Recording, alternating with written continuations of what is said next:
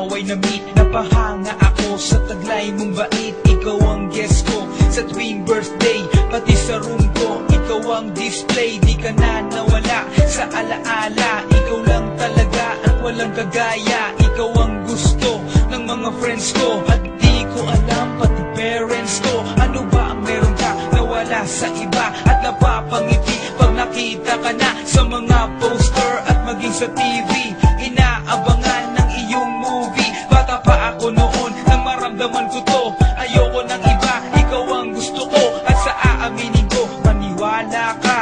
gusto kita kaysa kay Darna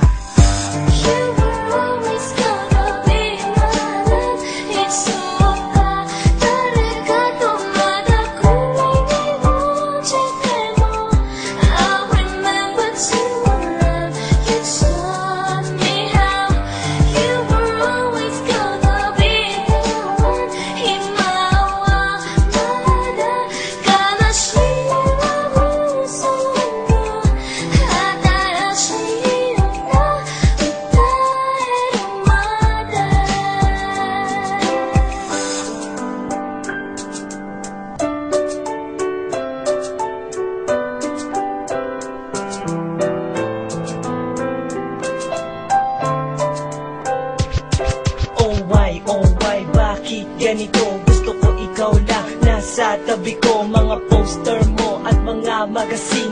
Sa buhay ko hindi kita kayang alisin. So pati sa cellphone at mga gamit Ikaw ang nakalagay sa aking bedsheet. Ako ay nalungkot nang ikay nawala Ano ba ang mali na aking nagawa? Pakiusap naman kahit nasa dali